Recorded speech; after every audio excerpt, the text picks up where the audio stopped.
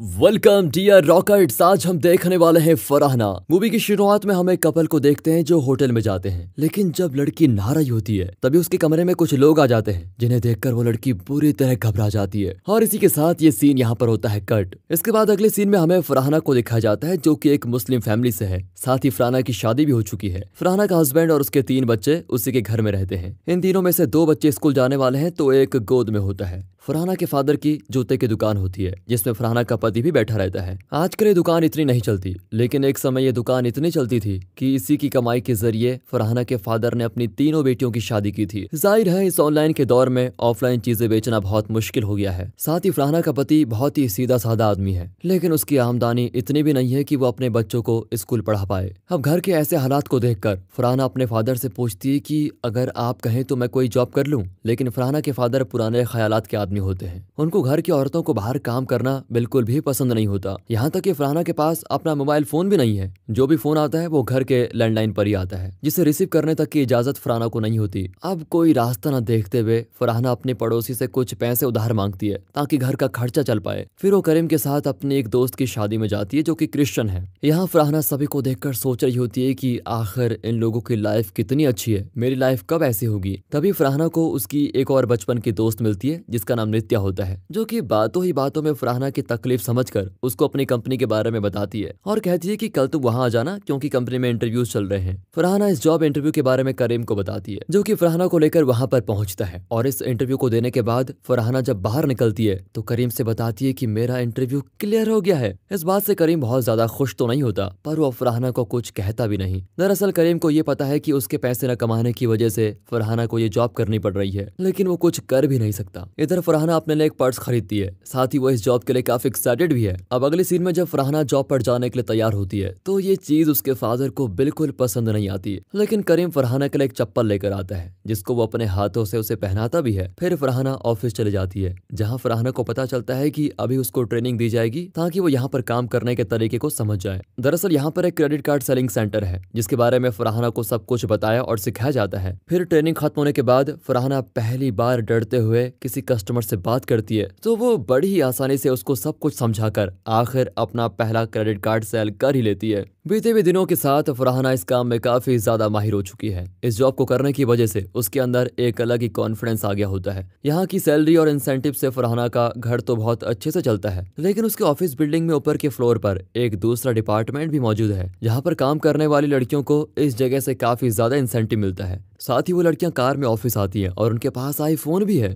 अब ये देखकर फराना का मन भी करता है कि वो उस जगह पर काम करे। इसलिए जब उसकी दोस्त नित्या भी उसी डिपार्टमेंट में चली जाती है तो फरहाना उससे कहती है कि, यार, मुझे भी काम दिलवाओ ना यहाँ पर। नित्या फराना से कहती है कि, तुम जहाँ पर हो, वो बिल्कुल सही जगह है। हमारी वाली जॉब को तुम नहीं कर पाओगी। इसलिए जहाँ हो, वहाँ अच्छे से मन लगाकर काम करो। अब एक दिन अचानक फरहाना के बच्चे की तबीयत बहुत खराब हो जाती है। दरअसल उसे सांस लेने में बहुत दिक्कत होती है। उसको लेकर ये लोग तुरंत हॉस्पिटल पहुँचते हैं, जहाँ डॉक्टर बताते हैं कि इस बच्चे के लंग्स में कोई दिक्कत आ गई है, इसलिए इसका अर्जेंट ऑपरेशन करना होगा। अब क्योंकि ऑपरेशन करना तो बहुत ज़रूरी है। तो ना चाहते हुए भी लोन लेकर उस बच्चे के ऑपरेशन का इंतज़ाम किया जाता है, जिससे बच्चे का ऑपरेशन तो हो जाता है, लेकिन ये लोन वापस भी करना है। इसलिए फरहाना नित्या से अपने इस प्रॉब्लम के बारे में बताकर विनती करती है की प्लीज़ मुझे अपने ऑफ़िस में जॉब दिलवा दो। ना चाहते हुए भी नित्या उसे अपने बॉस के पास लेके जाती है, जो नित्या से कहते हैं कि तुम फरहाना को इस काम के बारे में सब कुछ समझा दो, बाकी एक हफ़्ते के लिए हम फरहाना का परफॉर्मेंस देखेंगे। जो अगर ठीक रहा तो फरहाना को कंटिन्यू कर दिया जाएगा। अब नित्या फरहाना से बताती है कि ये काम तुम्हारे पिछले काम से काफ़ी अलग है। ये असल में एक ऑनलाइन कॉलिंग चैट सर्विस है, जिसे लोग सिर्फ़ इसीलिए करते हैं ताकि वो लड़कियों से अपनी मन मर्ज़ी की बातें कर पाए। यहाँ एक तरह से हमें लोगों से अश्लील बातें करनी पड़ती है। जितना देर तुम किसी क्लाइंट से बात करोगी, उतना ज़्यादा तुम्हारा पैसा बनेगा। साथ यहाँ के कुछ नियम भी है, जैसे की तुम किसी क्लाइंट को अपने बारे में कुछ भी नहीं बता सकती। यहाँ तक की अपना असली नाम भी नहीं। और अगर किसी ने ऐसा किया तो विवेक उसकी कंप्लेंट बॉस से कर देगा, जिसके बाद उस लड़की को निकाल दिया जाएगा।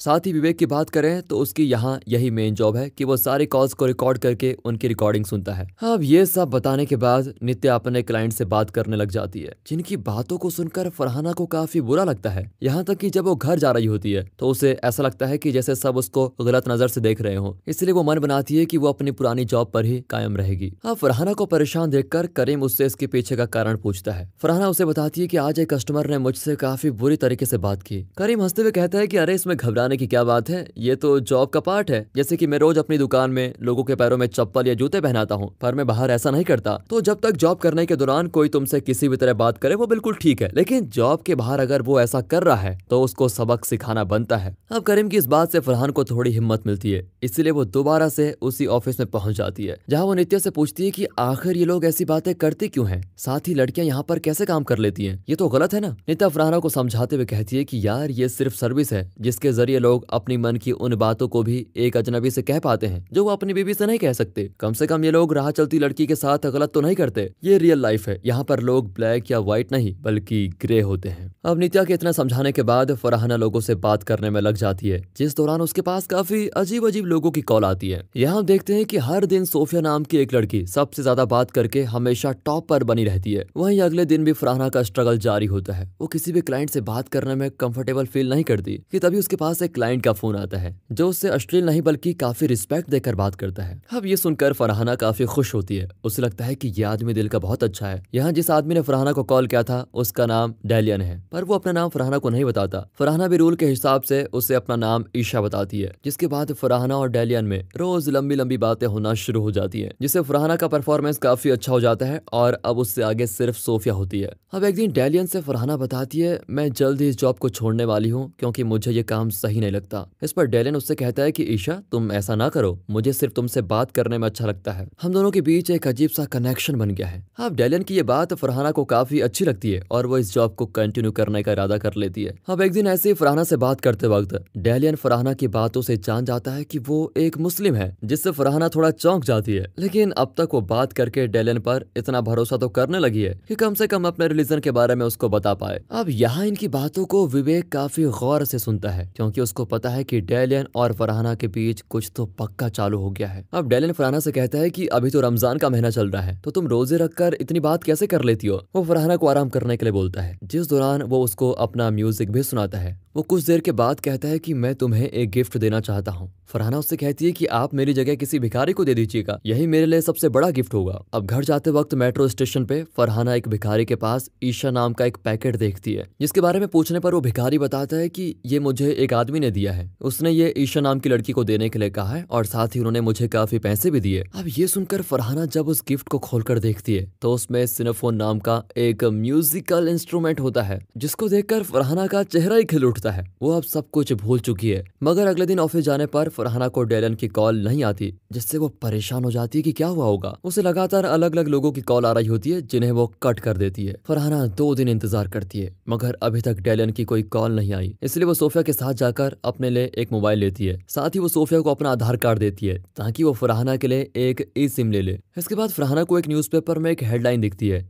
जिसमें लिखा होता है कि एक म्यूजिशियन की एक्सीडेंट की वजह से मौत हो चुकी है, जो कि किसी लड़की से ऑनलाइन चैटिंग करता था। अब इस खबर को पढ़कर फरहाना को लगता है कि ये शायद उसका वाला क्लाइंट है। इस बात को वो नित्या से भी शेयर करती है। इसी दौरान अचानक से फरहाना के पास डेलियन की कॉल आ जाती है। फिर डेलियन फरहाना से कॉल न करने के लिए माफ़ी माँगता है। वो बताता है की मेरा फ़ोन खराब हो गया था। इस कारण मैं तुमसे बात नहीं कर पाया, मुझे माफ़ कर दो। फरहाना उससे कहती है की मुझे तो लगा आपको कुछ हो गया है, और इस सबक से मुझे ये सीख तो मिल गई है की ज़िंदगी बहुत छोटी है। इसमें किसी को कुछ भी हो सकता है, इसलिए मैं आपसे मिलना चाहती हूँ। यहाँ उसकी बात सुनकर डेलियन सबसे पहले उसे अपना नाम बताता है और कहता है, मैं तुमसे कल ईद के दिन मिलना चाहता हूँ, जिसके लिए फरहाना राज़ी हो जाती है। और डेलियन से कहती है कि मैं आपके लिए बिरयानी लेकर आऊँगी। अब उनकी इस मीटिंग के बारे में पता चलते ही, पहले तो विवेक ये सब कुछ बॉस को बताने के लिए बढ़ता है, पर फिर वो खुद को रोक लेता है, क्योंकि वो भी फरहाना की तरह इस आदमी को देखना चाहता है। अगले दिन फरहाना काफ़ी खुशी खुशी बिरयानी बनाती है, लेकिन उसे घर से बाहर जाने का मौका नहीं मिल पा रहा होता है, जिसके बाद शाम को घर के सभी लोग घूमने जाने का प्लान बनाते हैं। इसी दौरान फरहाना तबियत खराब होने का बहाना बनाकर घर से जाने के लिए मना कर देती है। फिर सबके जाने के बाद वो एक टिफ़िन में बिरयानी पैक करके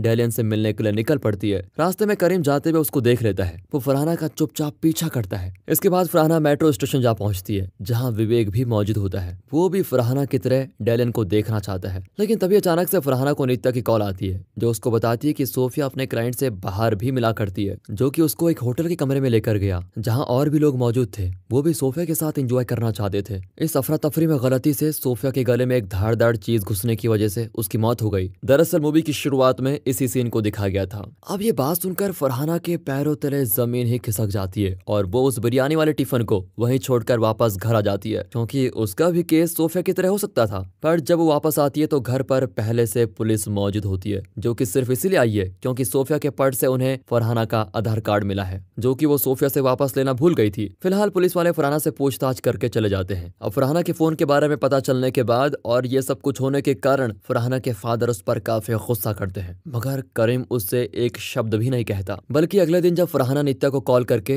जॉब पर आने से मना कर देती है तो करीम उससे कहता है कि तुम अगर ऐसे अचानक जॉब पर जाना छोड़ दोगी तो लोगों को लगेगा कि ज़रूर तुमने कुछ किया है, इसलिए तुम्हें वहाँ ज़रूर जाना चाहिए। यहाँ करीम की बात मानकर फरहाना दोबारा से वहाँ जाती है, जहाँ सोफिया की मौत की वजह से सभी लड़कियों को यहाँ के नियम अच्छी तरह बताए जाते हैं। साथ ही उन सभी को सिक्योरिटी पर्पज के लिए पेपर स्प्रे भी दिया जाता है। इसके बाद सभी अपने काम पर लग जाते हैं। इसी दौरान डैलियन की कॉल फरहाना को आती है, जिससे फरहाना बड़े ही प्रोफेशनल अंदाज में बात करने की कोशिश करती है। डैलियन फरहाना से पूछता है कि कल आप मुझसे मिलने क्यों नहीं आई? फरहाना उससे रूड होकर कहती है कि हम कभी नहीं मिलेंगे और अब से मैं तुम्हें इस तरह बात नहीं करूँगी। यहाँ मैं अपना काम करने के लिए आती हूँ, ना कि कोई रिश्ता बनाने। फरहाना की ये सभी बातें सुनकर डैलियन फ़ोन कट कर देता है, जिसके कुछ दिनों के बाद तक उसका कोई फ़ोन नहीं आता। फिर एक दिन डैलियन के बारे में बात करते वक्त, नित्या फरहाना से कहती है कि तुम्हें उसे पहले सारी बात समझानी चाहिए थी, उससे ऐसे रूडली बिहेव नहीं करना चाहिए था। अगर अब उसका फ़ोन आता है तो तुम पहले उसको सब कुछ अच्छे से बताना। फिर ये बात सुनकर फरहाना डैलन को सब कुछ सच बताने का मान जाती है। तभी अचानक से डैलन का फ़ोन आता है। फरहाना कुछ कह पाती, इससे पहले ही वो फरहाना से कहता है कि तुम्हें लगता है कि तुम मुझसे बात नहीं करोगी तो मैं तुम्हारे बारे में पता नहीं लगा पाऊँगा। बीते दिन जब मैंने तुम्हें फ़ोन नहीं किया तो उस वक्त मैं तुम्हें फॉलो कर रहा था। तुमने मुझे मना किया है, और अब तुम देखो मैं तुम्हारे साथ क्या करता हूँ। यहाँ डैलियन फरहाना का असली नाम लेकर उसे पुकारता है। साथ ही वो उसके ऑफ़िस से लेकर घर तक का एड्रेस भी जान चुका है। वो कहता है कि मैं तब तक तुम्हें फॉलो करता रहूँगा, जब तक तुम सबक सीख कर मुझसे खुद मिलने नहीं आ जाती। डेलन की सभी बातें सुनकर फरहाना काफ़ी ज़्यादा घबरा जाती है। वो डरते डरते अपने घर जाती है, क्योंकि उसे लग रहा होता है कि डैलन कहीं उसका पीछा न कर रहा हो। इधर घर में पहुँचते ही वहाँ पर ईशा नाम का एक पार्सल आया होता है। जिसको देखकर करीम उसे ये कहकर वापस देता है कि इस एड्रेस पर कोई ईशा नाम की लड़की नहीं रहती। अगले दिन ऑफ़िस में फरहाना को डैलन जब फिर कॉल करता है तो वो डैलन से कहती है कि तुमने अगर मुझे परेशान करना बंद नहीं किया तो मैं पुलिस में तुम्हारी कंप्लेंट कर दूँगी।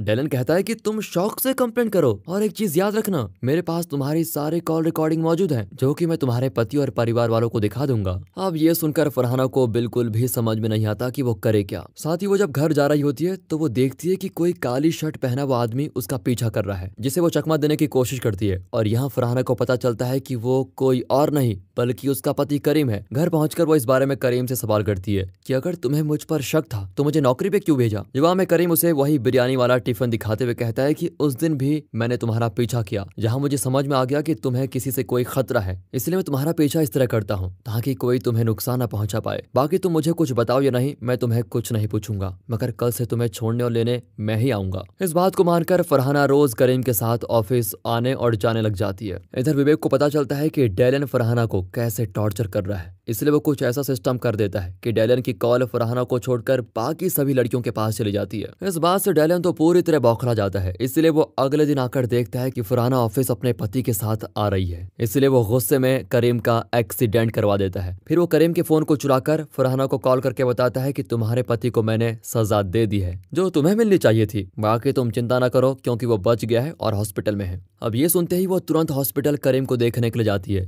जहाँ हम देखते हैं कि करीम के पैर में चोट आई है, बाकी कोई सीरियस बात नहीं है। अब अगले दिन फरहाना डेलन का सामना करने के लिए मन बना ही लेती है। वो उस सिनोफोन के ज़रिए उस दुकान तक पहुँचती है, जहाँ से वो खरीदा गया था। यहाँ से फरहाना को डेलन के क्रेडिट कार्ड का पता चल जाता है, जो की उसी बैंक का है, जिसके ऑफ़िस में फरहाना पहले काम करती थी। फिर वहाँ के टेक्नीशियन की मदद से नित्य और फरहाना को डेलन का एड्रेस और फ़ोन नंबर वगैरह मिल जाता है। साथ ही यहाँ फरहाना को यह भी पता लगता है की डेलन इस वक्त एक मॉल में अपने क्रेडिट कार्ड से शॉपिंग कर रहा है। वहाँ तुरंत पहुंचकर फराना आखिरकार डेलन को ढूंढ लेती है। जिस दौरान डेलियन को एक फेक कॉल करके नित्या फरहाना की उसे पहचानने में मदद करती है। फिर फरहाना अपने मुँह में नकाब पहनकर डेलियन का फ़ोन चुराने जाती है, क्योंकि उसी में उसके और डेलियन के बीच हुई बात की सारी रिकॉर्डिंग्स मौजूद हैं। लेकिन इससे पहले फरहाना फ़ोन ले पाती, डेलियन उसे पहचान कर उसके हाथ पकड़ लेता है। जो देखकर फरहाना उसकी आँख में पेपर स्प्रे छिड़क कर भाग जाती है, फिर वो उस फ़ोन के लॉक को खुलवाने के लिए एक दुकान पर जाती है, जिसके खुलने के बाद फरहाना को उसमें कुछ नहीं मिलता, क्योंकि उससे पहले डेलियन ने फ़ोन का सारा डाटा कहीं और डाल दिया था। अब इस बात से फरहाना एकदम से टूट जाती है, क्योंकि डेलियन उससे कहता है कि मैं सारा वीडियो अब तुम्हारे पति को भेज दूँगा। जिस चीज़ को लेकर डेलियन लगातार रात में भी फरहाना को टॉर्चर कर रहा होता है, जिससे वो बहुत ज़्यादा घबरा जाती है। यहाँ तक कि जब वो करीम के पास जाती है तो उसके हाथ काँप रहे होते हैं और वो पूरी चाय वहीं गिरा देती है।